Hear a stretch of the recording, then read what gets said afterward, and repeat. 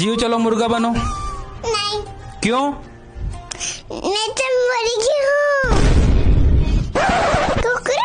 हूँ